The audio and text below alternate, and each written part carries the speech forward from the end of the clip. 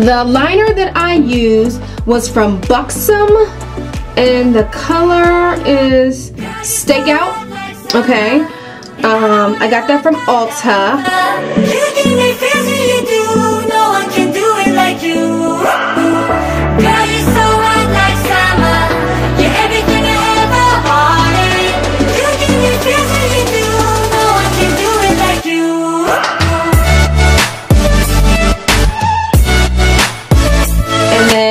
The lippy that I use is from Tarte and it's called the Tarteist Lip Paint and it is in the color Adorbs. Okay, Adorbs.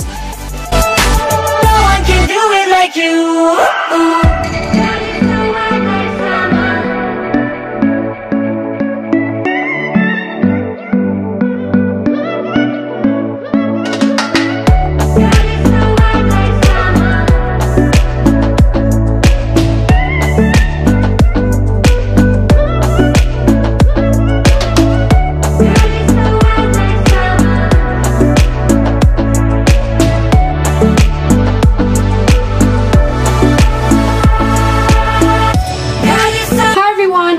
back to my channel. Thank you so much for stopping by. If you are new to this channel, please don't forget to hit the red subscribe button. And also, there's a little bell next to the subscribe button, you guys. Hit the notification bell so you'll know each time I upload a video. You don't want to miss out, you guys, so go ahead and do so. And I want to thank all of my returning subscribers and my newbies that I have out there. I see you. I thank you so much for stopping by my channel and watching this video. Now, once I hit 2k subscribers, I'm going to have a high-end giveaway. So, again, if you're not subscribed, make sure you're subscribing. Make sure you share my videos with your friends and family.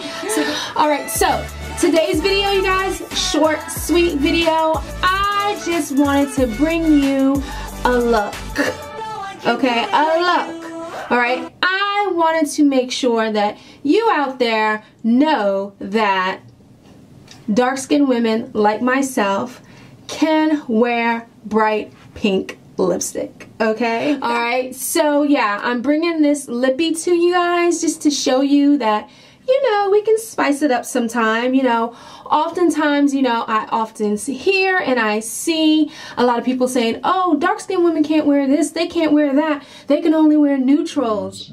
How untrue is that? that is so untrue, you guys it's summertime, okay? It is summertime and we need to be out there living our best lives, okay? We need to be having a hot girl summer all right? And this is a hot girl's look okay?